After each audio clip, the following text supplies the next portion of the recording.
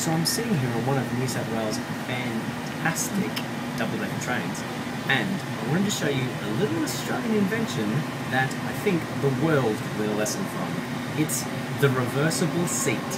Here we go. What is a seemingly normal seat facing in the direction of travel? But then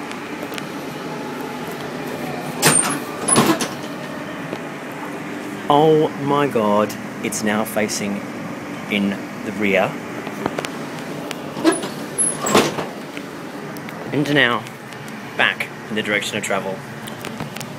Is that, or is that not, absolutely amazing? Ingenuity and invention. Thank you, New South Wales.